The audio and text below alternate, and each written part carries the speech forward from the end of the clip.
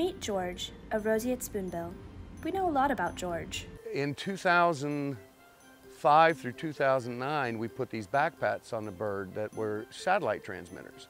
So every hour it would take a reading, a GPS reading, and then every day it would send us that data so we know where these birds are going and when they're coming. It, two years ago, we started repeating that study. So we go in and we capture adult spoonbills and we put a little harness on them with a little GPS transmitter with a, a solar powered little battery thingy. It's a little device that we put on. It, the, the backpack takes a reading every 15 minutes of where the birds are, records that, and then when the bird encounters a, a, a cell phone signal, it downloads it. I mean, for me, I just really love this kind of data. Like, it's it's so cool when you get a hit from a bird and you get like over a thousand points throughout the whole bay, and you can see where it's been flying around and stuff like that. So it's it's neat to see their little secret world.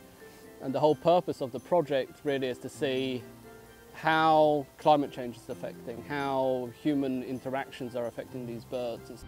George is telling us that something is changing in the Everglades.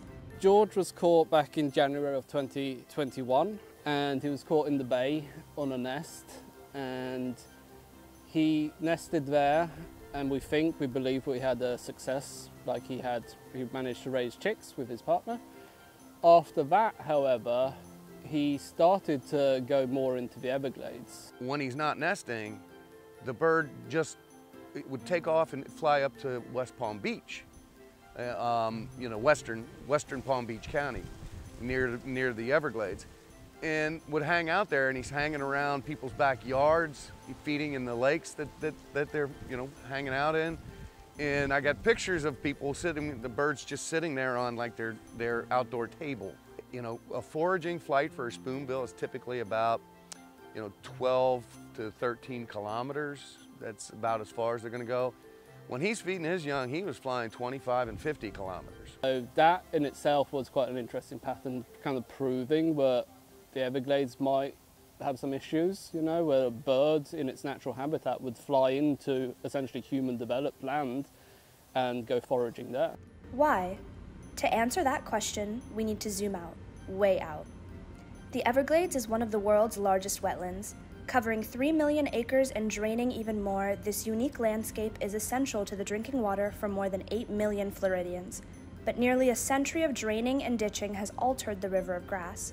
Now, not enough water reaches the Everglades.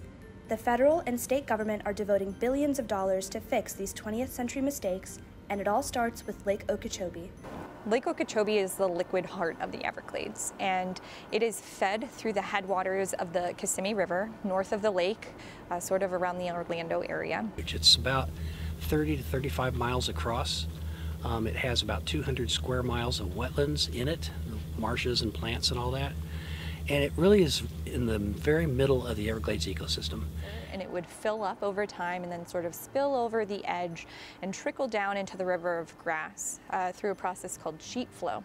And that sheet flow would slowly move all across the southern Everglades ecosystem, eventually ending up in the Gulf of Mexico and the 10,000 Islands, Florida Bay, and even Biscayne Bay. What happened is all the water used to feed the Everglades and really be a, a big part of the Everglades hydrology.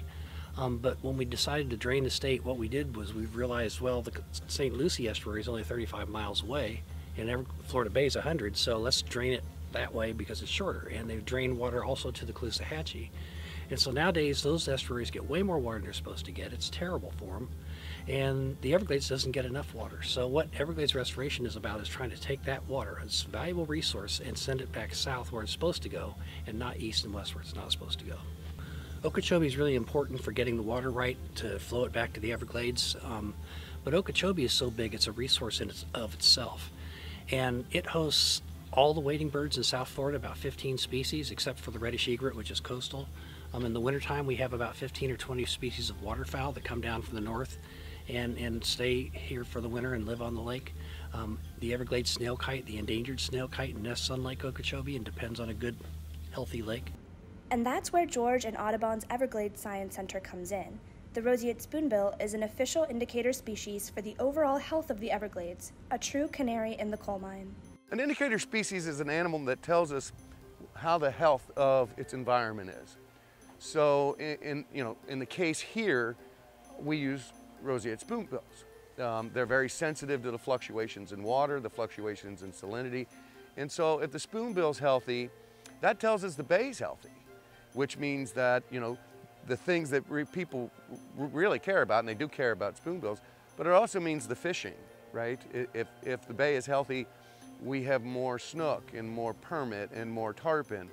And it's also attractive, you know, and that's what people come to Florida, especially the Keys, to see is, is pretty water. If it's not healthy, if it's green, if it's, you know, if it's got a nutrient problem, if seagrass dies off, then the spoonbills are the first thing to show that the bay is not healthy. To study the movement and nesting success of roseate spoonbills, the Everglades Science Center has tagged more than 3,000 chicks with leg bands, employed 50 camera traps to monitor chick survival, and have tracked 10 spoonbills with satellite tracking backpacks. George has already shown us some surprising movement patterns, and he's not the only one. Suki has been tracked all the way to Georgia. When we did the study in, you know, way back when, it was rare for birds to go north of Tampa Bay on the Gulf Coast or Cape Canaveral on the East Coast. As a matter of fact, historically, going back to the 1800s, they never nested any further than those two places north.